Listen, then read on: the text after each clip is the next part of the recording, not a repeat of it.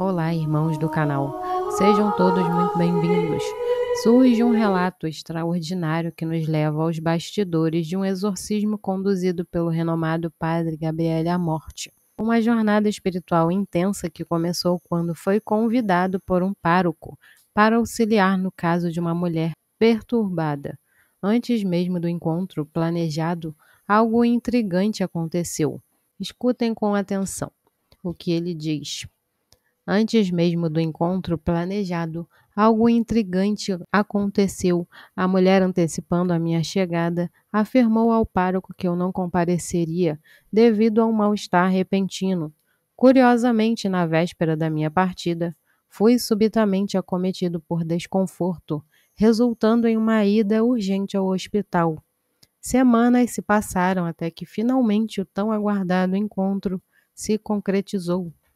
Ao princípio, a mulher exibia uma aparência tranquila, mas à medida que conversávamos, sua atitude tornou-se inquieta e menos à vontade na minha presença, a ponto de se levantar e buscar conforto junto a outro sacerdote, abraçando-se a ele como uma criança amedrontada, clamando por proteção.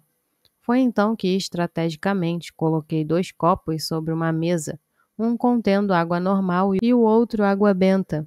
Ofereci-lhe a água comum, a qual agradeceu e consumiu.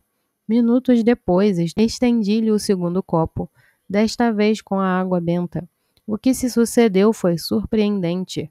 Sua expressão transformou-se instantaneamente de uma menina assustada para uma pessoa possuída por raiva, pronunciando palavras com um timbre de voz baixo e forte como se um homem falasse dentro dela. Assim deu-se o início à poderosa oração de exorcismo, uma hora de intensidade espiritual marcada por palavras sagradas e fervorosa fé.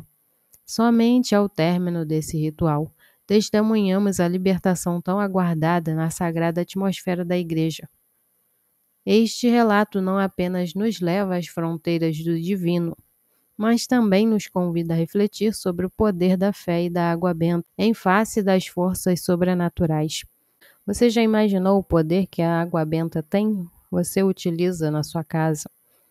Escreva aqui abaixo nos comentários e partilhe com outros irmãos.